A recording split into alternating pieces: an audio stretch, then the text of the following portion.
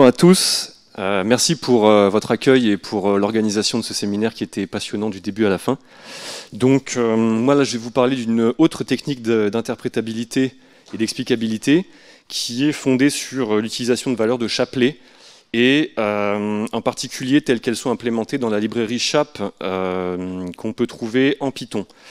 Alors pour ça, comme il a été dit, c'est vrai que j'ai étudié dans mon parcours l'histoire et la philosophie des sciences, et dans les dix minutes qui me sont imparties, je vais faire un rapide euh, retour historique sur euh, ce qu'on appelle l'explicabilité.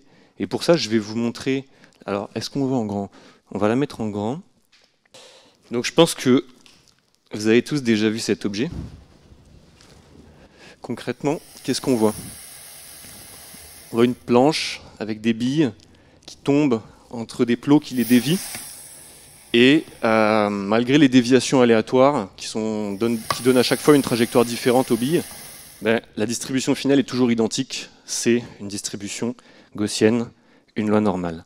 Donc cet objet, ça s'appelle une planche de Galton, du nom de Francis Galton. Euh, donc en fait, voilà, la planche de Galton, du nom de Francis Galton, savant anglais de la fin du 19e siècle, qui étudiait euh, les mécanismes de transmission héréditaire des caractères, et il se demandait notamment pourquoi les individus hors normes d'une génération n'étaient pas toujours les descendants des individus hors normes de la génération précédente. Alors même que le caractère qu'il étudiait était euh, parfaitement euh, prédit par l'utilisation de loi normale. Il était tellement obsédé par cette question qu'il a appelé ça la loi suprême de la déraison, cette omniprésence de la loi normale euh, dans ses observations. Alors, il faut bien remettre les choses dans leur contexte. À cette époque, on connaît le théorème central limite, on sait le démontrer, mais par contre, on connaît rien ou très peu des mécanismes qui gouvernent l'hérédité. Alors, pour cette raison, en fait, Galton utilise, comme nous aujourd'hui en machine learning, ce qu'on appelle une méthode agnostique, c'est-à-dire qu'il arrive à faire un modèle prédictif, mais il ne connaît pas les mécanismes sous-jacents au processus qu'il étudie, et ça n'empêche pas de faire des prédictions de très bonne qualité. Simplement, on voit qu'il lui faut donc un modèle, sa planche, pour expliquer un modèle prédictif statistique. D'accord? Donc, je vais en profiter pour faire un petit rappel de définition.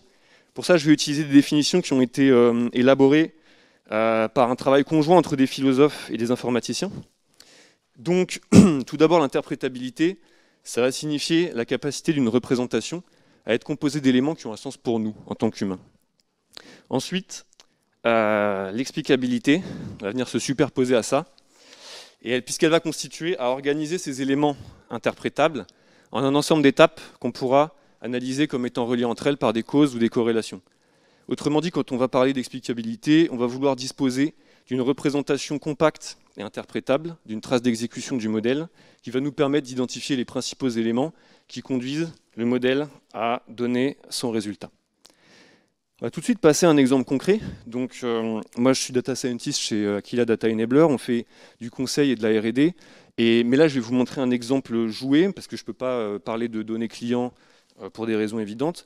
Donc cet exemple, euh, il est inspiré de l'article dont vous voyez la référence tout en bas. C'est un exemple de prévision de séries temporelles, en particulier de température de lacs nord-américains, en fonction de différentes features météorologiques, comme le shortwave radiation, donc le rayonnement solaire, la vitesse du vent, l'humidité relative, le jour de l'année, etc.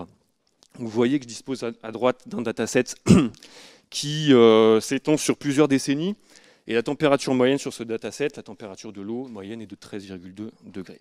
Alors, je peux faire pour ça un modèle prédictif à base d'un arbre de décision. Et euh, j'ai envie de savoir, dans cet arbre de décision, quelles sont les features qui vont être le plus importantes pour le modèle. Donc à gauche, que vous voyez, c'est une métrique, euh, c'est la réponse à cette question en utilisant une métrique qui est propre aux arbres de décision avec la librairie scikit-learn, tout simple, qu'on a tous déjà utilisé si on a fait du Python ici, je pense, le mean decrease in impurity.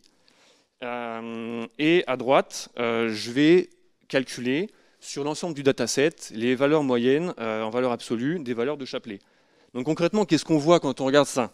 Des deux côtés, à gauche comme à droite, on a des histogrammes qui associent à chaque feature un score. Euh, et en plus, les features les plus importantes sont exactement dans le même ordre. Day of en premier, rayonnement solaire en deuxième, humidité relative en troisième. Donc c'est quoi l'intérêt des valeurs de Chapelet quand on voit ça? Pour le comprendre, il va d'abord falloir abandonner le dataset complet et passer à une prédiction individuelle. Et puis, je vais faire un très rapide détour historique euh, pour comprendre un petit peu ce qui se cache derrière les valeurs de Chapelet.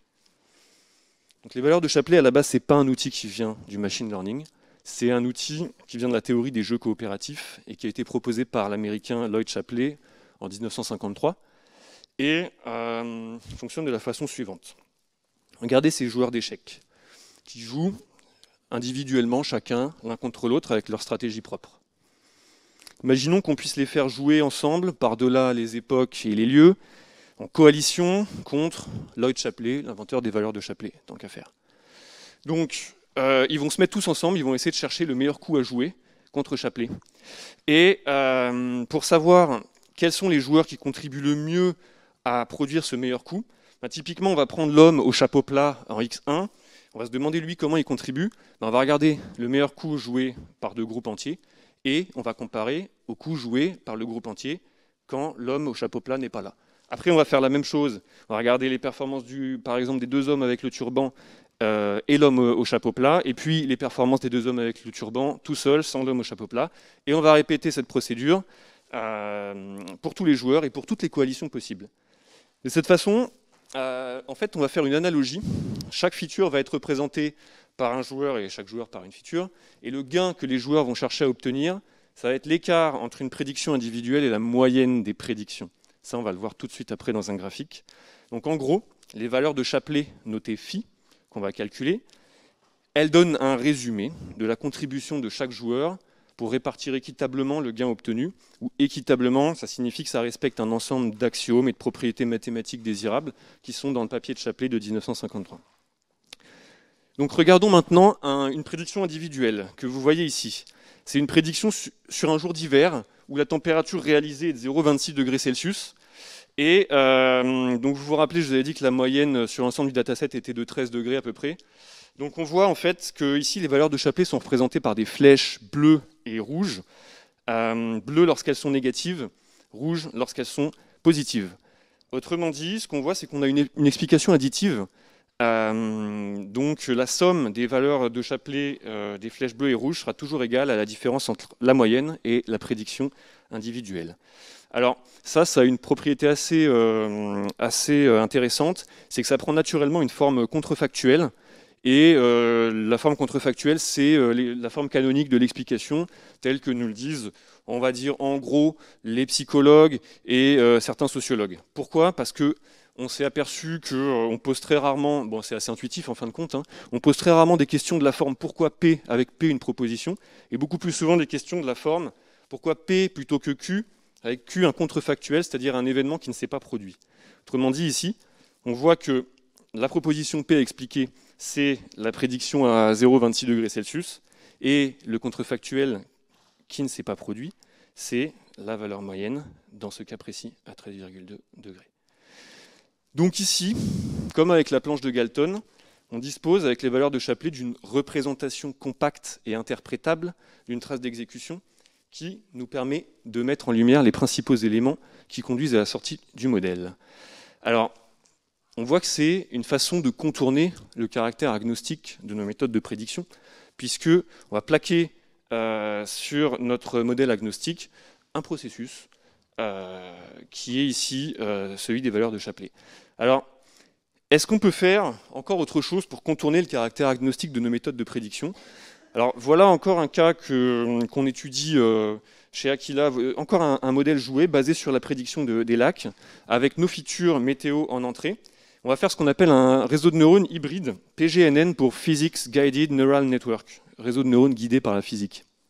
Alors, ces features météo qui sont en entrée, on va les donner à notre réseau de neurones hybride, qui est représenté par la fonction FHPD. Et puis, on va aussi les faire passer dans un modèle physique aux éléments finis, qui va nous sortir une prédiction de température. Et cette prédiction de température, on va s'en servir également comme d'une nouvelle feature. Et on va se demander quelles vont être les valeurs de Chapelet euh, avec euh, un tel euh, réseau de neurones. Est-ce que cette nouvelle variable qui a un sens physique, puisque c'est une prédiction d'un modèle aux éléments finis, va être plus ou moins utilisée par le modèle, et toutes sortes de questions de cet ordre-là. Donc là, je trace les valeurs de chapelet euh, avec la librairie scikit-learn sur dataset complet, en valeur moyenne, en valeur absolue, on voit que l'output physique arrive en troisième position. La variable qui est plus utilisée par le modèle, c'est euh, shortwave, c'est-à-dire le, rayonnement solaire. Euh, on voit également que les, hum, les variables qui correspondent à l'hiver, c'est-à-dire la présence de givre ou de neige, sont sous-représentées sur le dataset complet, en tout cas sous-utilisées euh, quand on les trace de cette façon-là.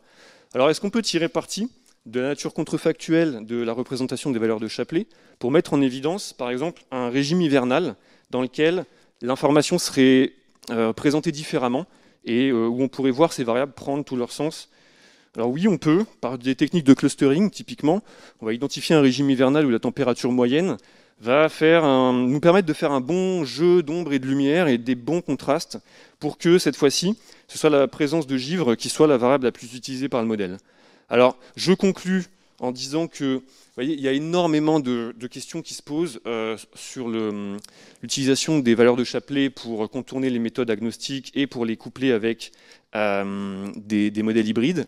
On a euh, deux thèses qui vont commencer en co-tutelle chez nous, chez Aquila, en 2022, co-encadrées avec SupMeca, et l'une d'elles sera spécifiquement dédiée à l'étude des modèles hybrides et de l'explicabilité. Voilà, je vous remercie. N'hésitez pas à poser des questions.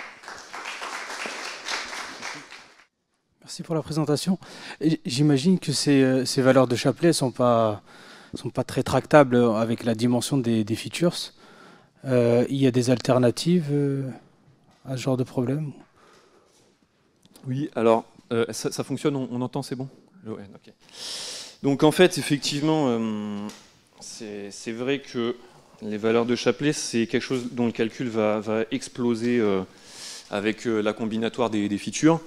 Et en fait, il faut bien différencier les valeurs de Chapelet telles qu'elles sont définies en théorie, euh, dans la théorie, et les valeurs de Chapelet pratiques telles qu'on les implémente, notamment avec la librairie Chap. Et il faut garder à l'esprit qu'il y a toutes sortes de manières de faire ce calcul des valeurs de Chapelet et de contourner l'explosion combinatoire due aux variables. Et actuellement, c'est des questions qui sont vraiment à l'état de l'art, où on a plein de méthodes qui peuvent être des méthodes d'échantillonnage non déterministes pour euh, tirer des, échantillons représentatifs, etc.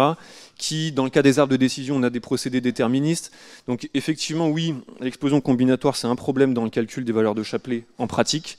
Et actuellement, il y a euh, de nombreuses méthodes qui euh, visent à hum, contourner ce problème. Et je vais vous donner une référence si ça vous intéresse. Voilà, la référence qui est en bas à droite, là, c'est une bonne liste de hum, des avantages, des inconvénients.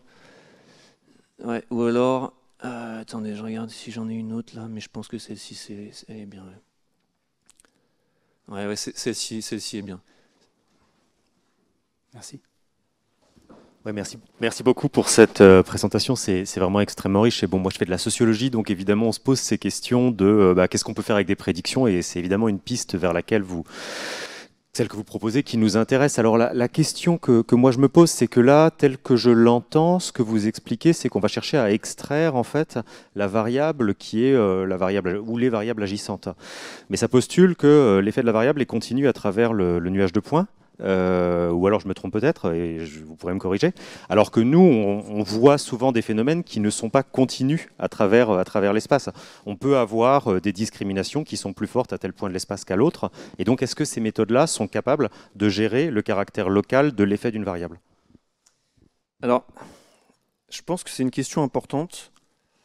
Euh, il me semble indirectement que ce que je fais ici répond peut-être à votre question dans le sens où, vous voyez que là, je regarde le dataset complet, il y a une variable qui est plus utilisée que les autres par le modèle pour faire varier les prédictions individuelles par rapport à la moyenne, c'est l'ensoleillement.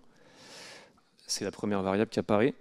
Et si j'identifie un sous-ensemble de mon dataset qui va être un régime hivernal, autrement dit, euh, je vais pouvoir identifier des effets locaux dans ce sous-ensemble, à ce moment-là, les valeurs de Chapelet qui vont être euh, mises en évidence seront différentes. Ça veut dire que le chercheur doit remettre les mains dans le cambouis, en fait. c'est vous qui devez faire ça, c'est pas automatique. Exactement, c'est loin d'être automatique. Et euh, alors voilà, c'est loin d'être automatique. C'est pour ça que, en fait, les valeurs de chapelet, c'est un outil qui est extrêmement utilisé en pratique dans la littérature. Et euh, déjà, c'est à la base un outil qui est plutôt utilisé en prédiction euh, locale, c'est-à-dire sur une observation. Donc, ça manipuler avec précaution dès lors déjà qu'on enlève leurs signes. Comme ici, je trace des valeurs absolues et des valeurs moyennes. Donc c'est pour ça. Il va falloir trouver, comme je disais, le bon contraste pour faire entre guillemets un jeu d'ombre et de lumière sur lequel on va mettre en évidence certaines, choses, certaines caractéristiques qu'on cherche à étudier et en cacher d'autres. Mais évidemment, quand on a un graphique comme celui-ci, où c'est des valeurs moyennes de valeurs absolues, ou l'inverse, euh, oui, des valeurs moyennes de valeurs absolues, ben voilà, évidemment, on perd de l'info, mais on peut jouer avec ça tout en ayant bien à l'esprit euh, voilà, la façon dont c'est calculé. Euh, merci pour l'exposé. Merci de m'avoir fait découvrir les valeurs de Chapelet. Je voulais, savoir comment, euh, ces chiffres-là de Chapelet euh, font avec les, les, redondances qu'on peut avoir entre les différentes variables. Par exemple, votre variable output physique, j'imagine qu'en quelque sorte, c'est une, une, combinaison des autres variables, snow, shortwave, etc. Et du coup, si on enlève cette variable output physique, est-ce que les valeurs de Chapelet des autres euh, vont être modifiés J'imagine que oui, mais est-ce que par exemple ça pourrait changer d'ordre ou donner beaucoup plus d'importance à, une, autre variable? Oui, ben c'est encore une question fondamentale. Je pense du coup vous avez bien saisi euh, ce qu'il a. cette question montre que vous avez bien saisi ce qu'il y a derrière les valeurs de, Chapelet. Donc en effet, si je retire par exemple l'output physique de mon, de modèle, l'ordre des valeurs de Chapelet sera différent. Euh, en ce qui concerne, parce que c'est une question qui est assez profonde en fait. Je ne suis, pas, du tout un spécialiste des valeurs de Chapelet, euh, mais il me semble que dans le papier original de Chapelet, les redondances et notamment la corrélation entre variables sont naturellement prises en compte dans le calcul.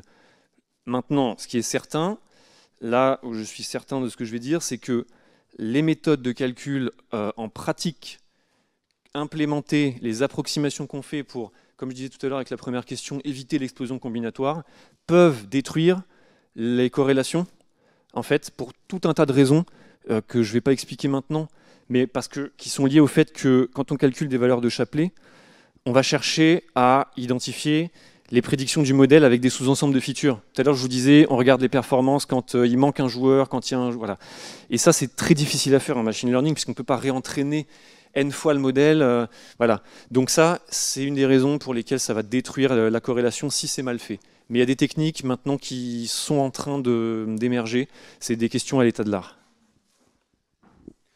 Merci. Alors pour, euh, préciser et continuer sur la lancée de la question précédente, il peut y avoir des, des, corrélations entre deux variables. Il peut aussi se faire que ce soit une combinaison particulière de deux variables euh, distincte qui donne quelque chose. Genre si euh, enfin, la, neige toute seule euh, ou l'air tout seul n'explique rien, mais la combinaison de, des deux est déterminante.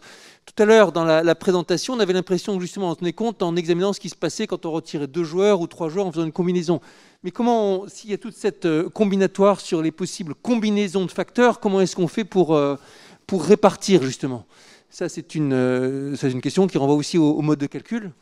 Deuxième question, est-ce que quand on, compare le genre de valeurs qu'on trouve euh, avec ce, type de méthode, et qu'on compare avec ce que dit un humain chargé d'expliquer, de dire avec son ressenti de spécialiste qu'il a, est-ce qu'il y a, une certaine, euh, est-ce qu'il y a un certain accord Est-ce qu'on retombe sur les, sur les, pieds au plan euh, cognitif?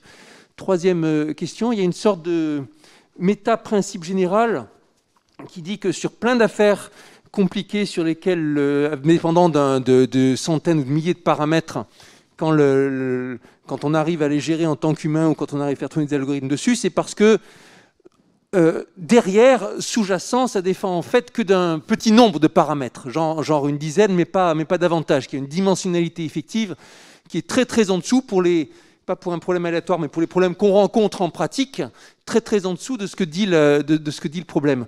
Qu'est-ce qu'on peut dire euh, par rapport à cette observation et que dit, euh, que dit Chapelet? Je vais commencer par répondre à la deuxième question. Euh, j'ai oublié la référence de cet article, mais il y a un article relativement récent, peut-être, bon, récent, ça ne veut rien dire, mais 2-3 ans, disons, qui a, on va dire, mené une étude sur quelles sont, entre différentes techniques d'explicabilité, quelles vont être celles qui vont être préférées par des utilisateurs humains d'un système d'intelligence artificielle. Et alors, il me semble que les, valeurs de Chapelet, les techniques, ce qu'on va appeler additives, additive feature contribution, euh, était, placé en tête en fait, parce que ça correspond intuitivement à ce qu'on a envie de voir. On a envie de voir, ben, en, quelque sorte, c'est une combinaison, une somme hein, de, variables. Quoi. C'est, ce que les, voilà, c'est une forme simple d'explication. Alors, sur la première question, euh, sur, euh, alors je, sais, je suis pas certain de pouvoir répondre parfaitement à cette question. maintenant. Bon, c'est vrai que la façon dont va être implémenté le, calcul va euh, beaucoup, euh, beaucoup changer le, résultat. Il y a notamment des articles qui montrent que parfois on a des résultats complètement contre-intuitifs si le calcul est mal implémenté, pour les raisons que vous avez mentionnées. Euh, j'aurais pu mettre ces références-là, je les ai plus en tête là maintenant tout de suite, mais effectivement c'est des questions qui se posent. Et, c'est des questions importantes. Et la dernière question, si vous pouvez me la rappeler, je l'ai oublié. Sur cette idée que euh, dans les problèmes qu'on rencontre en pratique, la dimensionnalité effective est très très inférieure à la dimensionnalité euh, euh, objective du, problème. Oui, effectivement. Alors c'est vrai que, par exemple, quand on a beaucoup de variables dont plusieurs d'entre elles vont être corrélées entre elles, les propriétés d'additivité justement des valeurs de Chapelet font qu'elles sont en compétition entre elles et par exemple, si deux variables sont corrélées, euh, elles vont être euh, plus faibles, on va dire, que, si on en avait présenté seulement une seule au modèle. Et voilà, typiquement, une porte d'entrée vers cette question, euh, c'est celle-ci. C'est-à-dire que, évidemment, les valeurs de Chapelet peuvent pas. c'est un outil de sélection de features, mais elles ne peuvent pas répondre à la question par elles-mêmes. C'est-à-dire que si on a énormément de features en entrée, et je reviens toujours à la même chose, et que le calcul implémenté en pratique fait que les corrélations sont mal gérées, alors euh, la dimensionnalité devient un problème. Merci. On remercie de nouveau euh, Clément Arlotti.